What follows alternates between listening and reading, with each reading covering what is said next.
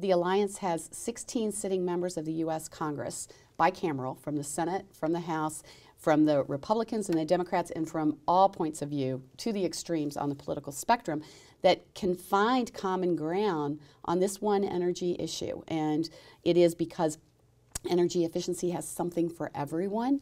It helps on energy security for our nation. It also helps on the environment, but very importantly, it helps our economy because we save money when we cut waste out of the system. And we're creating jobs by cutting the waste out of the system. So it's a, it's a win-win-win. Um, and it's, it's really been an interesting topic to grab onto and to bring people together.